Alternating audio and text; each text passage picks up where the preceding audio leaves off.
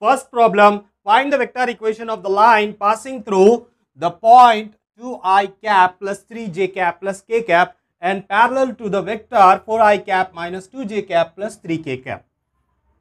So in solution, let us write these given vectors as let vector A is equals to 2i cap plus 3j cap plus k cap and the vector b is equals to 4i cap minus 2j cap plus 3k cap. So these are the two vectors. Next, they said that to find out the vector equation.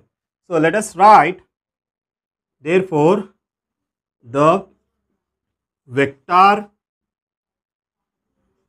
equation of the line passing through the point. So, the point here is vector A and parallel to the vector B. We know the equation for this. The equation for vector equation passing through any point and parallel to another point. There is another vector. The formula is therefore vector r is equals to vector a t plus b where this t here is scalar.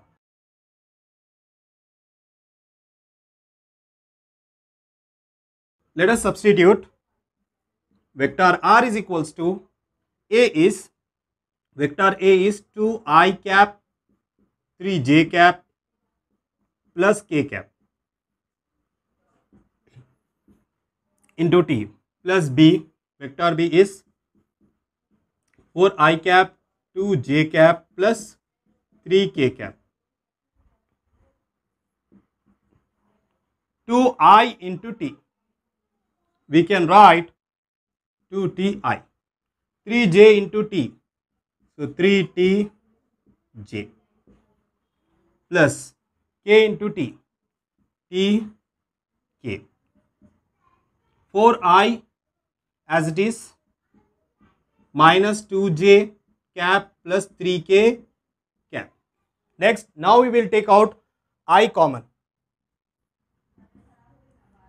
so two t plus 4 i cap plus 3t minus 2 j cap plus t plus 3 k cap. So, this is the required vector equation.